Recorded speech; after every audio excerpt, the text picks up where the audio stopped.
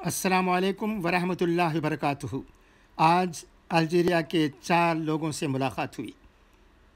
उनसे मुलाकात के दौरान ये मालूम हुआ कि उनमें एक भाई अरबी ज़बान में अबूर हासिल कर चुके हैं। वो अरबी के स्कॉलर हैं।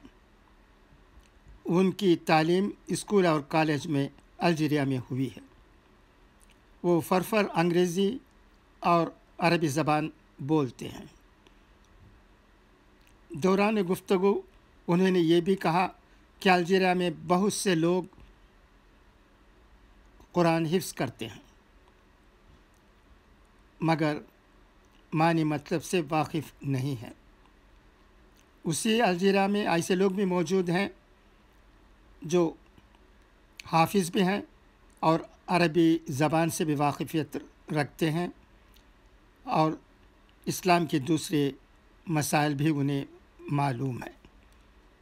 मुख्तसरा कहा जाए तो उनका ये कहना था कि अल्जीरिया में मुसलमान बहुत मजहबी हैं।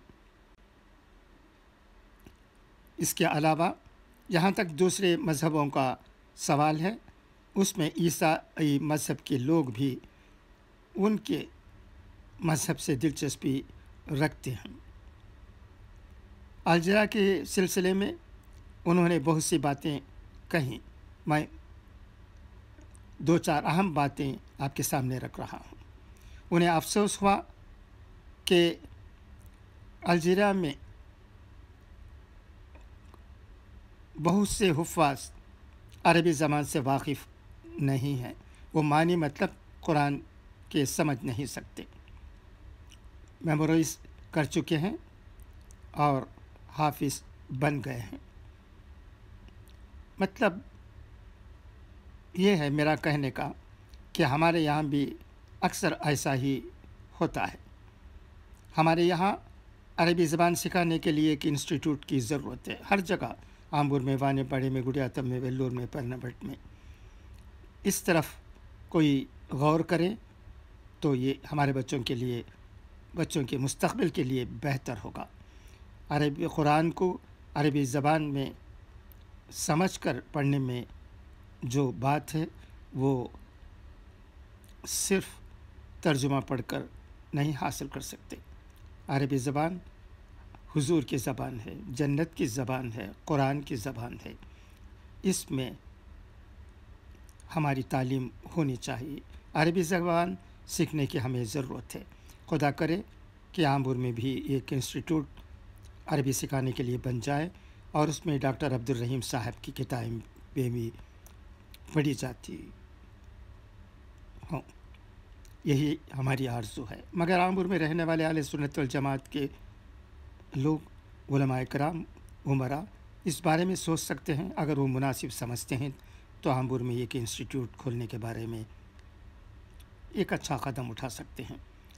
इसमें सब शिरकत कर सकते हैं इस इंस्टीट्यूट में, क्योंकि अरबी ज़बान सीखने के लिए उम्र की कोई क़ैद नहीं हो सकती है।